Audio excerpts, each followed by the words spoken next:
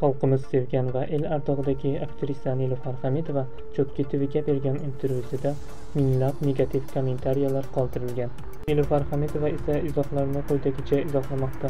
Do'stlar kanalga yangi bo'lsangiz obuna bo'lishni unutmang. Video ustiga begona layk bosib qo'yish yodingizdan chiqmasin.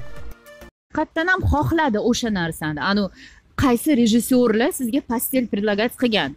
A endi qarangda mana shu yerda ham tushunmayapman man man o'sha e, pastel предлагать qilgan rejissyorlarni eshitganmanda keyin man rad etganman. Man san bilan yo'q unaqa отношение qilmayman. Mani oilam bor deganman. Bo'ldi.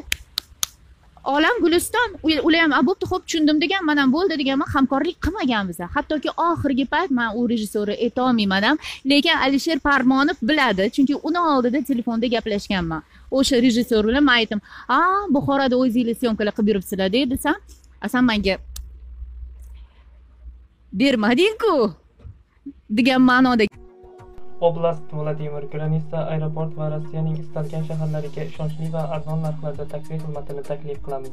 Murojaat uchun telefon plyus yetti to'qqiz yuz oltmish bir bir yuz o'n sakson to'qqiz sakson to'qqiz. Askar akamiz qo'ng'iroqlaringizga javob beradi. Marhamat ekrandagi raqamlarga telefon qilishingiz mumkin.